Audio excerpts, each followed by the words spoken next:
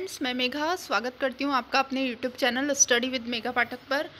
Friends ये test number thirty eight मैं आप लोगों के लिए लेकर के आ गई हूँ और हम लोग बुद्धि पढ़ रहे थे, आपको पता है। और जो फ्रेंड्स मेरे साथ अभी अभी जुड़े हैं, देखिए पार्ट नंबर थ्री है, इससे पहले मैंने पार्ट नंबर वन और पार्ट नंबर टू अपलोड कर दिया है। जो फ्रेंड्स मेरे साथ अभी अभी जुड़े हैं, वो प्लीज़ मेरे चैनल को सब्सक्राइब कर लें। साथ में बेल आइकन है, उसे आप लोग प्रेस कर दें। यहाँ पर रेगुलर जो है, मैं वीडियोज़ अपलोड करती हूँ ताकि आपको उसका जो नोटिफिकेशन है, वो मिल सके। इसके अलावा एक छोटी सी रिक्वेस्ट है फ्रेंड्स अगर आपको वीडियो पसंद आता है तो प्लीज़ आप लाइक का जो बटन है, उसे प्रेस करके जाएँ। देखिए, हम लोगों को मोटिवेशन की ज़रूरत होती है और आपका लाइक आपके कमेंट्स ही ये डिसाइड करते हैं कि हमारा जो वीडियो है, आप लोगों को तो आप लोगों को पसंद आ रहा है या नहीं, या फिर आप लोगों के लिए यूज़फुल है या नहीं। तो देखिए, और जो लोग प्लीज़ टेस्ट दे रहे हैं, वो लोग तो ज़रूर कमेंट किया करें। देखिए, आप लोग कमेंट नहीं करते हैं कि कि कितने क्वेश्चंस हैं वो आप लोगों के सही हो रहे हैं। मेरे जो टेस्ट पेपर्स हैं इनका जो स्टैंडर्ड है वही मुझे पता नहीं चल पाता। आ, तो देखिए प्लीज़ कमेंट करके बताएँ कि कितने क्वेश्चंस हैं आप लोगों के। मेरा आंसर बताने के पहले सही हुए हैं तो प्लीज़ आप लोग कमेंट करें। और जो लोग नए जुड़े हैं वो प्लीज़ चैनल को सब्सक्राइब कर लें। तो देखिए स्टार्ट करते हैं। क्वेश्चन नंबर वन है किसने बुद्धि को अविभाज्य या एकल इकाई बताया है? A Binet B Terman C Stern या डी ये तीनों? तो देखिए ये तीनों ही जो हैं बिने टर्मन और स्टर्न इससे पहले मैंने वीडियोस में आप लोगों को एकल खंड या एकल कारक सिद्धांत के बारे में बता दिया था। उसके प्रवर्तक का नाम मैंने जो है आप लोगों को बता दिया था। आ, तो जिन्होंने वीडियो नहीं देखा है प्लीज़ एक बार चैनल पर विज़िट करें। काफ़ी अच्छा यूज़फुल मटेरियल आपको हिंदी से रिलेटेड देखने को मिलेगा। इसके अलावा साइकोलॉजी का तो है ही वहाँ पर और एसएसटी का तो बिल्कुल बहुत ही उमदा क्वेश्चन हैं जो कि डायरेक्टली मैंने एन और माध्यमिक शिक्षा बोर्ड की बुक से बनाए हुए हैं। वो क्वेश्चन आपको वहाँ पर देखने को मिलेंगे। पूरा जो ये चैनल है, वो टेस्ट से रिलेटेड मटेरियल आपको प्रोवाइड करवाता है। केवल जो हिंदी है, उसमें मैं आप लोगों को डिटेल में इस वक्त पढ़ा रही हूँ। और अब हिंदी का आज जो है एक लास्ट टॉपिक जो है, पदबंध, वो मैं आप लोगों को अपलोड कर दूँगी। उसका पार्ट नंबर वन और पार्ट नंबर टू मैं आप लोगों को कल अपलोड कर दूँगी। उसके बाद बाद बस जो है शिक्षण विद्या हम लोग स्टार्ट करेंगे। उसमें मापन एवं मूल्यांकन वो टॉपिक हम लोग पहले ले लेंगे क्योंकि आपको पता है कि वो जो टॉपिक है वो हर पार्ट में उससे रिलेटेड तीन या चार क्वेश्चन पूछे जाते हैं। यानी कि वो टॉपिक तो सेम ही है लेकिन वो यूज़ पूरे पेपर में चारों पार्ट में होता है। यानी कि एक तरीके से देखा जाए तो पूरे आ, कम से कम भी चौदह या पंद्रह क्वेश्चन वो है हमारे उसमें कवर करता है। तो बस इसी वजह से मैं मापन एवं मूल्यांकन वाला टॉपिक आप लोगों को पहले करवाऊँगी। तो देखिए, इसका जो आंसर हो जाता है, वो हो जाता है डी, ये तीनों। यानी कि बिने साइमन और बिने टर्मन और स्टर्न, इन तीनों ने ही जो है बुद्धि को अविभाज्य एकल इकाई बताया है। क्वेश्चन नंबर टू है, बुद्धि का विकासात्मक सिद्धांत किसने दिया है? A, Binet B Terman, C Stern या डी जीन प्याजे। तो देखिए, एकल कारक या एक खंड सिद्धांत तो इन तीनों ने दिया है। तो जो विकासात्मक सिद्धांत है, वो जीन प्याजे ने दिया है। तो आंसर जो हो जाएगा, वो हो जाएगा डी जीन प्याजे। क्वेश्चन नंबर थ्री है क्वेश्चन नंबर थ्री का देखिए आंसर मैं आंसर बताऊँ, उससे पहले जो लोग टेस्ट दे रहे हैं, वो लोग प्लीज़ मुझे ये बताएँ कि किसको मेरा आंसर बताने के पहले क्वेश्चन नंबर थ्री का आंसर पहले से याद था। ज़रूर कमेंट करके जाएँ फ्रेंड्स क्वेश्चन नंबर थ्री है, तरल मोजेक सिद्धांत किसने दिया है? A G Thomas B R B Cattell C Spearman या डी जीन पियाजे बताइए आंसर देखिए, मैं आंसर बता देती हूँ। अभी तक आई होप आपने कमेंट कर दिया होगा कि मैडम मुझे ये पहले से पता था। प्लीज़ कमेंट बॉक्स में कमेंट करें। क्वेश्चन नंबर थ्री का जो आंसर है वो है बी आरबी कैटल जो तरल मोजेक सिद्धांत था, वो आरबी कैटल के द्वारा दिया गया था।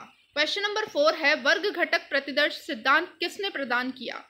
ए जी थॉमस देखिए, बिल्कुल नए नए क्वेश्चंस हैं। आपको पता चल रहा होगा कि बिल्कुल नए जो क्वेश्चन हैं वो मैंने यहाँ पर लिए हैं। और इसके अलावा देखिए स्टैंडर्ड हाई और लो होना कोई मैटर नहीं करता। एक्चुअल में स्टैंडर्ड वो होना चाहिए जो हमारे एग्ज़ाम से रिलेवेंट कर रहा हो। यानी कि जो क्वेश्चन सीधे हमारे एग्ज़ाम में पूछे जाने की संभावना हो इस तरीके के क्वेश्चंस हम लोग यहाँ पर करें। हमें यहाँ पर कोई स्टैंडर्ड अपना प्रूफ नहीं करना है कि कितना कठिन पेपर मैं बना सकती हूँ या कितना आसान पेपर मैं दे सकती हूँ। इस तरह का मैं यहाँ कोई प्रूफ करने नहीं बैठी हूँ। मैं केवल इसलिए आप लोगों को यहाँ पर जो स्टडी मटीरियल है प्रोवाइड करवा रही हूँ ताकि एक सही दिशा में हमारी तैयारी हो सके और एग्ज़ाम में वही चीज़ें हमें देखने को मिले जो कि हम तैयार करके जाएँ। ये ज़्यादा ज़रूरी होता है। ठीक है? तो क्वेश्चन नंबर फोर का जो आंसर है वो आंसर हो जाएगा आपका जी थॉमस। वर्ग घटक और प्रतिदर्श सिद्धांत जो दिया था, वो जी थॉमस ने दिया था। तो आंसर ए हो जाएगा इसका। क्वेश्चन नंबर फाइव है, पदानुक्रमिक या क्रमिक महत्व का सिद्धांत किसने दिया था? A Cyril Burt B Burner, C A और बी दोनों, या डी दोनों में से कोई नहीं। तो देखिए, वीडियो अगर पसंद आ रहा है तो प्लीज़ प्लीज़ अभी आप लोग लाइक का बटन जो है, वो प्रेस कर दें। पसंद नहीं आ रहा है तो आप लोग डिसलाइक भी कर सकते हैं, लेकिन पसंद आ रहा है तो प्लीज़ लाइक का बटन प्रेस करें। इसके अलावा कमेंट करके भी बताएँ कि वीडियोज़ आपको कैसे लग रहे हैं, और जो लोग टेस्ट देते हैं, वो तो प्लीज़ कमेंट किया करें कि कितने क्वेश्चन उनके जो हैं, वो सही हुए हैं। देखिए क्वेश्चन नंबर फाइव का जो आंसर है वो है सी सीरियल बर्ट और बर्नर इन दोनों ने मिलकर जो है पदानुक्रमिक या क्रमिक महत्व का सिद्धांत प्रदान किया था। क्वेश्चन नंबर सिक्स है त्रिखंड सिद्धांत के प्रवर्तक कौन है?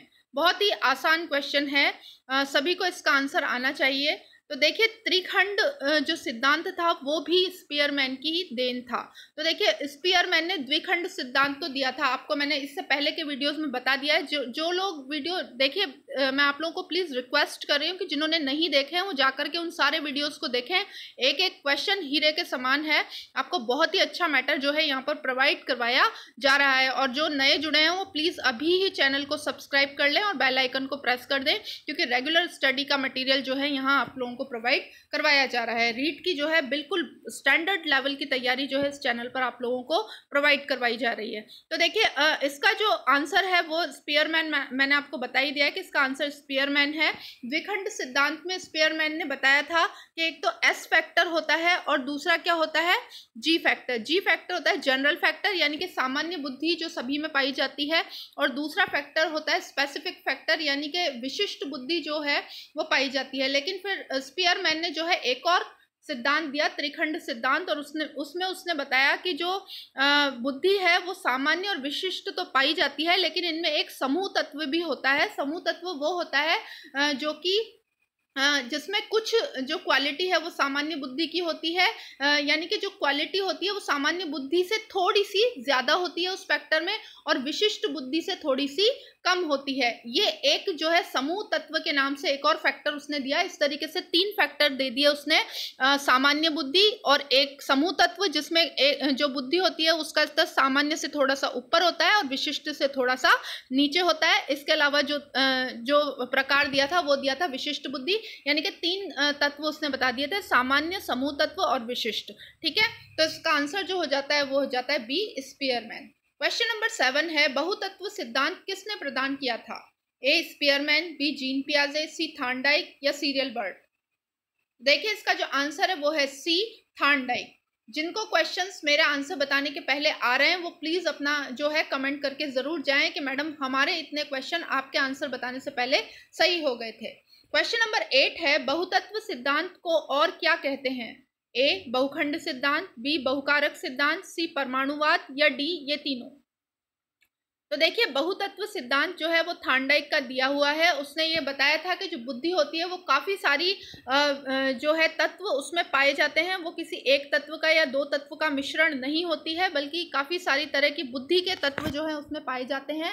तो इस सिद्धांत को उसने बहुखंड सिद्धांत, बहुकारक सिद्धांत, परमाणुवाद, बालुकावाद इसी तरह के नामों से बुलाया है। तो देखिए, ये सारे ही नाम जो हैं बहुतत्व सिद्धांत के हैं। तो आंसर हो जाएगा डी, ये सभी। क्वेश्चन नंबर नाइन है, बहुबुद्धि सिद्धांत किसने दिया था? बहुत ही इंपॉर्टेंट क्वेश्चन है लास्ट ईयर पूछा गया है। लास्ट रीड का पेपर अगर आप उठा करके देखेंगे तो उसमें बहुबुद्धि सिद्धांत आपको देखने को मिलेगा। क्वेश्चन देखिए, इसका जो आंसर है आई होप आप सभी को आता होगा तो मैं इसका आंसर बता देती हूँ। हार्वर्ड गार्डनर जो है, इसके प्रवर्तक थे बहुबुद्धि सिद्धांत के तो जो आंसर हो जाएगा, वो हो जाएगा B Howard Gardner question number ten है, सूचना प्रक्रम सिद्धांत या त्रितंत्र सिद्धांत किसने दिया था? देखिए यहाँ त्रिखंड की बात नहीं हो रही है, त्रितंत्र की बात हो रही है, आप लोगों को ये ध्यान रखना पड़ेगा। त्रिखंड आते ही तो स्पीयरमैन आंसर हो जाएगा और त्रितंत्र आते ही तो बताइए कौन सा आंसर रहेगा? जो लोग टेस्ट दे रहे हैं वो लोग आंसर गैस करें। देखिए इसका जो आंसर है वो है सी स्टर्नबर्ग जो सूचना प्रक्रम सिद्धांत या जिसे त्रितंत्र सिद्धांत भी कहते हैं वो सिद्धांत जो है स्टर्नबर्ग ने प्रदान किया था। तो आंसर इसका सी हो जाएगा। क्वेश्चन इलेवन है समूह तत्व सिद्धांत या प्राथमिक मानसिक योग्यता सिद्धांत। देखिए, समूह तत्व सिद्धांत को एक और नाम से जाना जाता है प्राथमिक मानसिक योग्यता सिद्धांत। आप लोगों को ये ध्यान रखना पड़ेगा। मेरे क्वेश्चंस भी आप लोगों को ध्यान रखने पड़ेंगे, क्योंकि क्वेश्चन में भी काफ़ी सारी चीज़ें मैं आपको बताती हूँ। केवल आंसर ही हमको रट करके नहीं चले जाना है, हमें क्वेश्चन देखना है क्वेश्चन को अच्छी तरीके से पढ़ना है क्वेश्चन में जो इन्फॉर्मेशन हो उसे भी याद रखना है। जैसे कि यहाँ पर बताया है मैंने, समूह तत्व सिद्धांत यानी कि प्राथमिक मानसिक योग्यता सिद्धांत किसने प्रदान किया था? तो देखिए यहाँ पर समूह कारक की बात नहीं हो रही है। समूह कारक सिद्धांत तो थानडाइक ने दिया था, लेकिन समूह तत्व जो सिद्धांत है, वो थर्स्टन और कैली ने दिया था। आपको ये शब्द याद रखने पड़ेंगे, वहाँ पर आप लोगों को कन्फ्यूज़न हो सकता है, क्योंकि हो सकता है कि आपको जो है ऑप्शन में थानडाइक भी दिया जाए। तो देखिए समूह तत्व जो सिद्धांत है या फिर जिसे प्राथमिक मानसिक योग्यता सिद्धांत भी कहते हैं, वो स्टर्नबर्ग सॉरी वो थर्स्टन और कैली इन दोनों के द्वारा दिया गया था तो जो आंसर हो जाएगा वो हो जाएगा सी, ए और बी दोनों। मुझे ज़रूर कमेंट करके बताएँ कि किसको इसका आंसर, मेरे आंसर बताने के पहले आता था। क्वेश्चन नंबर ट्वेल्व है, त्रिआयामी या त्रिविमीय सिद्धांत किसने दिया था? ये भी बहुत इंपॉर्टेंट क्वेश्चन है, ये भी पूछा गया क्वेश्चन है, काफ़ी बार ये क्वेश्चन पूछ लिया गया है। A Thorndike B, Sternberg, C, Guilford या डी, कैली। तो देखिए, इसका जो आंसर है वो है गिलफर्ड। गिलफर्ड ने जो है त्रिआयामी या त्रिविमीय सिद्धांत दिया था। आप सभी को पता है कि बहुत ही फ़ेमस सिद्धांत है। बुद्धि के सिद्धांत में ये सर्वाधिक फ़ेमस सिद्धांत है गिलफर्ड का त्रिआयामी सिद्धांत। तो देखिए क्वेश्चन नंबर थर्टीन हम लोग देखते हैं। देखिए, ट्वेल्व का आंसर मैंने बता ही दिया सी हो जाएगा। क्वेश्चन नंबर थर्टीन हम देखते हैं, गिलफर्ड ने बुद्धि को कितने चरणों वाली प्रक्रिया बताया है? तो देखिए, गिलफर्ड ने बुद्धि को जो है तीन चरणों वाली प्रक्रिया बताया है। तो जो इसका आंसर हो जाएगा वो हो जाएगा बी तीन चरणों वाली प्रक्रिया। क्वेश्चन नंबर फोर्टीन है। देखिए, अगर आप लोगों को वीडियो पसंद आ रहा है तो प्लीज़ अभी लाइक कर दें। और इसके अलावा अगर आप लोगों को लग रहा है थोड़ा भी कि वाकई में एक अच्छा चैनल है, एक सही इन्फॉर्मेशन आपको प्रोवाइड करवा रहा है और आपकी हेल्प कर रहा है तो प्लीज़ जो चैनल है, उसे सब्सक्राइब कर लें। इसके अलावा जो बेल आइकन है, उसे भी आप साथ में प्रेस कर दें। देखिए क्वेश्चन नंबर फोर्टीन है। गिलफर्ट के तीन चरणों में समाहित कौन कौन से तत्व हैं? देखिए कौन कौन से तत्व हैं जो तीन चरणों में आते हैं? तो देखिए विषय वस्तु संक्रिया और उत्पाद ये तीनों ही जो है गिलफर्ड के तीन तत्वों में आते हैं। तो जो आंसर हो जाएगा वो हो जाएगा डी, ये सभी। देखिए, आपको इन वीडियोस को देखने के अलावा कुछ भी पढ़ने की ज़रूरत नहीं पड़ेगी। आप मेरा भरोसा रखिए बार बार इन्हें देखिए और बार बार जो है अपने दिमाग में इनके आंसर्स को बिठाएँ, अच्छे तरीके से बार बार रिपीट करके देखें। देखिए, बहुत ही हेल्पफुल साबित होंगे आपको। जिस दिन आपका रीड का पेपर होगा, आप मेरे चैनल को ज़रूर याद करेंगे। तो देखिए, क्वेश्चन नंबर फिफ्टीन है विषय वस्तु संक्रिया और उत्पाद में तत्वों की संख्या क्रमशः है। मतलब पहले विषय वस्तु में कितनी है, फिर संक्रिय आता है तो उसमें कितनी है और फिर उत्पाद में कितने तत्व पाए जाते हैं, ये ये पूछ रहा है।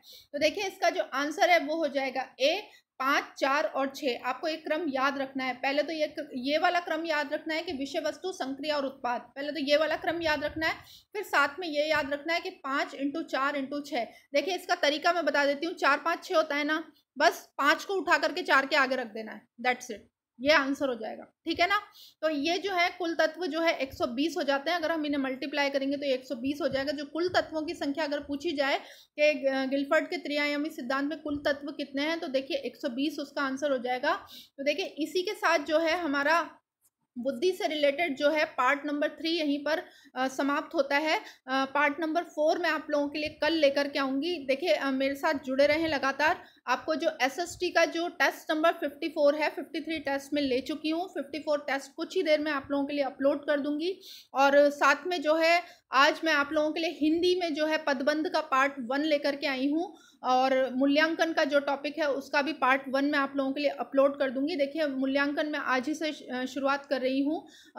इन चारों के जो है मतलब क्योंकि आपको पता है कि मूल्यांकन बहुत ही इंपॉर्टेंट टॉपिक है तो मैंने सोचा चलो आज से ही शुरुआत कर देते हैं। जो चीज़ दो दिन बाद डालनी है, उसे आज से ही शुरू कर देते हैं। तो एक हिंदी में आपके लिए दो जो हैं वो आएँगे।